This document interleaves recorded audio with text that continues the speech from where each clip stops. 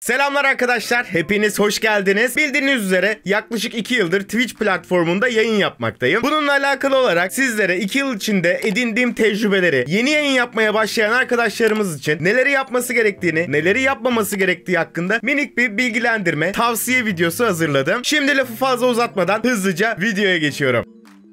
Birinci maddemiz en kısa ve en öz maddemiz bu olacak. Eğer yayın yapmaya başlıyorsanız bunu kesinlikle ve kesinlikle para kazanmak için yapmayın arkadaşlar. Sadece ve sadece kendiniz için yapın, eğlenmek için yapın ve bazı şeyleri başarma isteğinizle yapın. Arkadaşlar rica etsem bir kanala abone olup böyle aşağıya da bir yorum atarsanız gerçekten çok makbule geçer.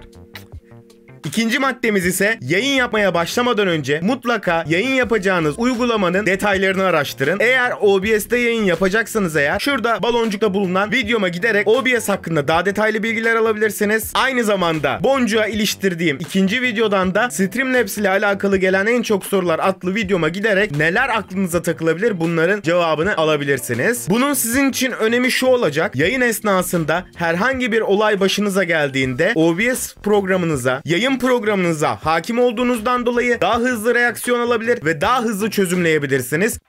Üçüncü maddemiz ise yayını nasıl çıkış yapmanız konusunda. Arkadaşlar benim videolarıma gelen en çok yorumlardan biri şu. 1080p 60 fps yayın yapmak istiyorum. Arkadaşım, dostum, canım, bir tanem. 1080p 60 fps yayın yapmana gerek yok. Senin yaptığın 1080p 60 fps yayını izleyecek kişi sayısı 100 kişi seni izliyorsa eğer bunun sadece 10 tanesidir efendim. Sizin yayınlara ilk yeni başladığınız dönemde 720p 30 fps standart bir yayın çıkmanız yeterlidir. Ha, hayır benim sistemim iyi. Biraz daha iyi olmasını istiyorum. Biraz daha kaliteli yayın çıkmak istiyorum dersen eğer istersen 720p 60 fps veya 900p 30 fps veya 60 fps çıkman çok daha sağlıklı, çok daha yararlı ve izleyicilerin için de bu büyük bir avantaj olacaktır. Çünkü 900p ve 1080p yayın izlemek için gerçekten yüksek bir download hızına ihtiyacı olacaktır. Bu yüzden senin için ideal olan 720p veya maksimum 900p yayın yapmaktır.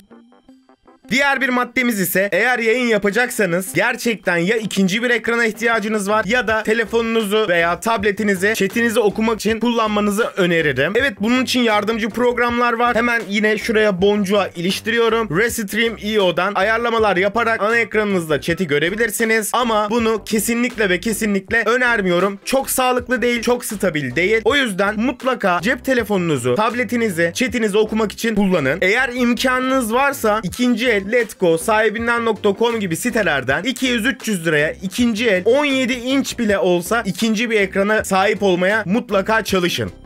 Yayın yapmaya başladığınızda hemen donate hedefi, bağış hedefi açmayınız. Çünkü gelen izleyiciler yayınınıza geldiğinizde sizin ne zamandır yayın yaptığınızı öğrendiğinde ve orada kocaman bir donate ve bağış barı gördüğü zaman bu onlar için itici olabilir. O yüzden yeni başladığınızda sadece bir hedef açacaksanız bu sadece takipçi hedefi olmalı. Bu tamamen benim şahsi fikrim. Eğer yayın yapmaya başladıysanız mutlaka ve mutlaka bir Discord server açmayı unutmayınız. Topluluğunuza gelecek insanlar ilk başta Discord'unuz var mı diye soracaktır ve buna hayır yanıtı vermeniz sizin için büyük bir eksi olacaktır. O yüzden mutlaka ve mutlaka Discord serverınızı yayın açmaya başlamadan önce kurun. Eğer Discord serverınıza veya Twitch ekibinize, eğer Discord serverınıza veya Twitch kanalınıza bir moderatör alacaksanız bunu gerçekten tanıdığınız, güvendiğiniz ve bildiğiniz kişilerden oluşturun. Çünkü tanımadığınız ve çete ilk defa gelen kişilerden bunu seçerseniz kötü niyetli kişiler gerçekten sizler için hüsran dolu anlar yaşatabilirler. Asla ve asla yayın açmaya başlamadan önce yayınlarla alakalı çok büyük yatırımlar yapmayınız. Gidip çok iyi bilgisayarlar, mükemmel kameralar, süper ışık sistemleri almayınız. Sonucunda hüsranla karşılaşabilirsiniz. İlk önce elinizdeki imkanlar ile yayın açmaya başlayın. Eğer bir ay iki ay sonra biraz hareketlenme, biraz gelişme varsa yatırımlarınızı yapmaya o zaman başlamanızı öneririm. Eğer ağırlıklı olarak oyun yayınları yapacaksanız benim burada gördüğünüz gibi Macro'da kurulu olan eski bir Android telefonum var. Mutlaka ve mutlaka Macro'daki bir telefonunuza indirip o şekilde yayınlarınızı yönetmenizi tavsiye ederim. Bununla alakalı Macrodeck'le alakalı videoyu da şuradaki boncuğa koyuyorum. Mutlaka oradan bir göz atmanızı öneriyorum.